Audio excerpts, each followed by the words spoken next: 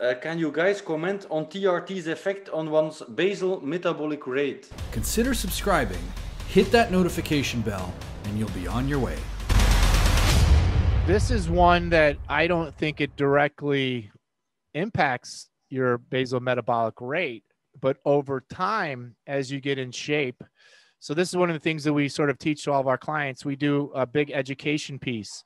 So uh, we we spend a lot of time up front trying to explain as we're uh, having our consults with our clients how to best maximize the effects of the program that they're on right? So if you're coming to me for uh, you know you, people come to us for a, a lot of reasons right?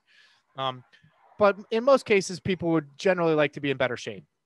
And and most people would you know in general like to lose a little bit of body fat a lot of people by the way come to us thinking that they want to lose weight and they never lose any weight but what they do do is they lose a lot of body fat and they add a lot of muscle right? So uh, we, we try to get people to stop thinking about weight in general and we stop think uh, start uh, trying to get people to think about body fat percentages and getting people into the healthy range of uh, body fat percentages right?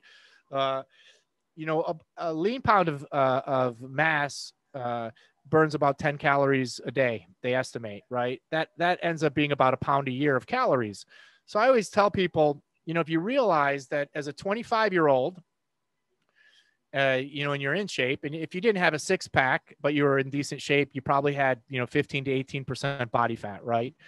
If you gain one to two pounds a year by the time you're 45, you're, uh, you'd be obese. You'd be in sort of the 25 to 30 to 32% range. You know, uh, most people just have slight weight gains over time and then all of a sudden they wake up and they don't realize it but they're 25 30 pounds overweight and they're obese. And so what we always tell them if is uh, you know of course it's numbers and it's harder to do but if you actually averaged one to two pounds a year more of lean mass over that 20 years you wouldn't have gained the 20 pounds that you're in this situation right? Yeah. and so we're big advocates of strength training. Uh, we're big advocates of of more lean mass as a weight management as a long-term weight management strategy so we're big advocates for strength training I'm a huge fan of cardiovascular exercise by walking. By walking, I think walking is one of the best uh, ways to drop body fat percentage and to lose weight. Uh, people who run, you know, if they're running or doing cardiovascular and it's too intense, obviously it can become catabolic. I think walking is effort. There are very few people who have an ailment that prevents them from walking. So, uh, you know, a lot of people could sort of change their health if they just stop watching a sitcom or 30 minutes of TV and, and listen to a podcast and went for a 30, 40 minute walk. Right. Mm. Uh, so we're big. I'm, I'm a big fan. If you had 60 minutes to go into the gym, how would you break it out between strength training and cardio? I would, I would suggest breaking it out into 60 minutes of strength training and zero cardio and make sure you walk a lot. You know, that's yeah. me. And, yeah. and the clients that get that, uh, the clients that get and understand that tend to do much better than the mm. clients who don't buy into it. And, you know, and it's, it's weird because people come to us and they're searching for our advice, you know, but they still sometimes have this wall built up because they're, um, you know, they've been taught over and over it's cardiovascular is the way to lose weight and you have to focus on your weight and we're trying to sort of reprogram them in a certain way yeah. and so we're always trying to maximize uh, lean mass. And mm. as you add lean mass, you're obviously going to drive a metabolic rate. Um, yeah. I have a, a great example. Uh, we have a great uh, success story. Husband and wife came to us in June, uh, end of June, and in 10 months they had both dramatically uh, changed their uh, their life. He went from 28% body fat. He's now uh, nine and a half percent. He's got an eight. I mean, it's amazing. He he, by the way, is in a little bit better shape than me. So, mm-hmm. uh, you know, I, I, I'm sort of uh, happy. I'm really happy, obviously, when my the clients are in great shape and better than me. But I'm sort of upset with myself when it happens. Right? It's a little bit of jealousy, but it motivates me. And she went from 16% body fat.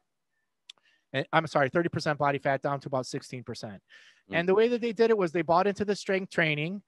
Uh, he has gained 26 pounds of lean mass while dropping 41 pounds of weight So he's only lost about 15 pounds, but he looks like he's lost about 50. Mm. And she has uh, lost 23 pounds of, of fat while she's gained 11 pounds of muscle.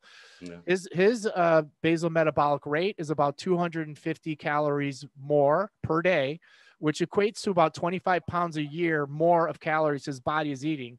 So now they can, you know, cheat and they're not going to gain weight. I mean, they Mm. basically have improved the amount of food and the quality and, and the enjoyment of life by getting in shape because they burn so many more calories and she burns about 110 more.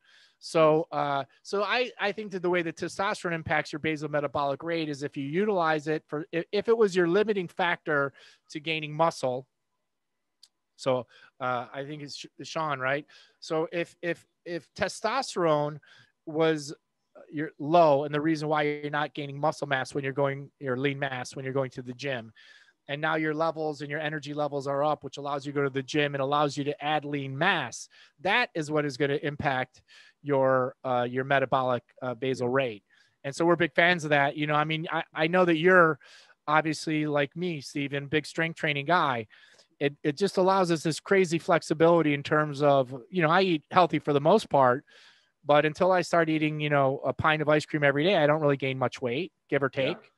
Um, you know, so I don't have to. I, I eat clean, but I don't really have to if I don't want to. Yeah, I And but- completely agree. Yeah. Uh, that- yeah, go ahead, Brian. I was just gonna say, you know, I think that there's, you know, we we talk to our clients a lot about, hey, how do you transform your life? How do you dig your, how do you dig yourself out of this hole? And I think it's a lot of small, uh, very small changes. When when when you add those small changes up, they can be incredibly impactful.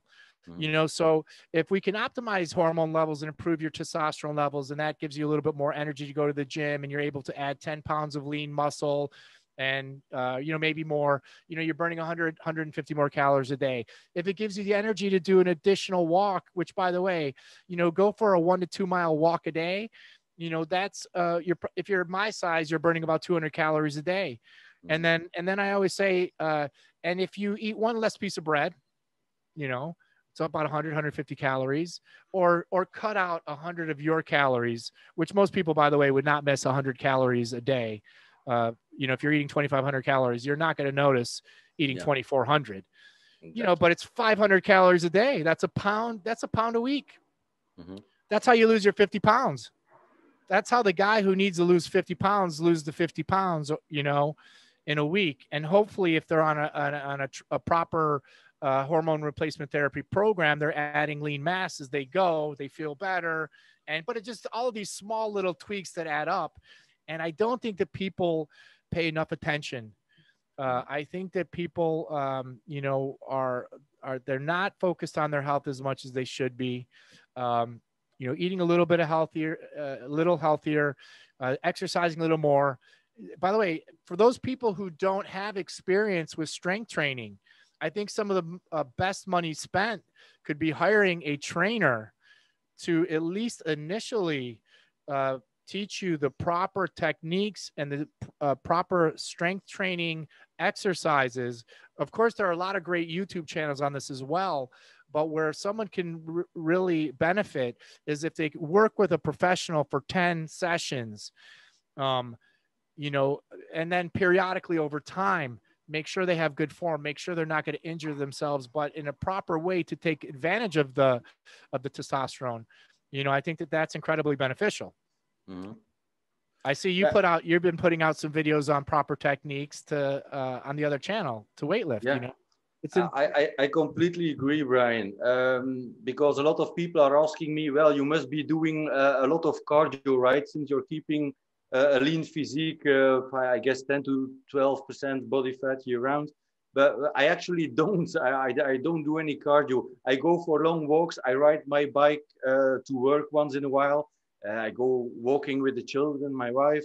But uh, I, I'm not on a treadmill or doing uh, laps around the block or anything it's really easy to, to, to stay lean with a flexible diet. As you said, I can eat what I want. I choose to eat healthy, but I can put in some snacks once in a while. Uh, I, I don't become fat. And because my metabolic rate is probably rather high since I carry a lot of muscle mass. So weight training really, yeah, it's it's an upward circle. Eh? You you put on more muscle mass, you're uh, you have a higher metabolic rate. You can eat more calories a day without getting fat.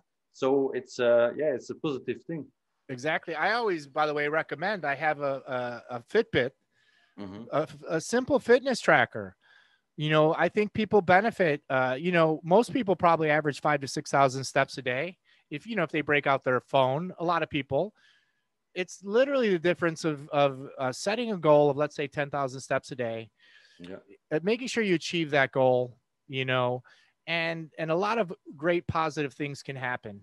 Yeah. And um and then you can you can cheat you know i'm not like a uh, I don't think that people should cheat uh, frequently on the food but it gives you the flexibility. And so that's where people really benefit when they uh, oh the other thing by the way i want everyone to understand the difference of cardio uh, cardio uh, uh, vascular exercise to weight training. I use this with all my clients. You know, my grandfather gave, gave me the story of the give the man a fish or teach him how to fish, right?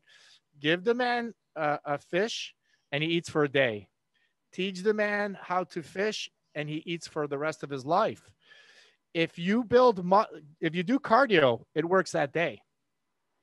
If you build lean mass, that burns additional calories every single day, even if you're not able to make it to the gym on that particular day, even if it's raining outside and you can't go for your three mile run.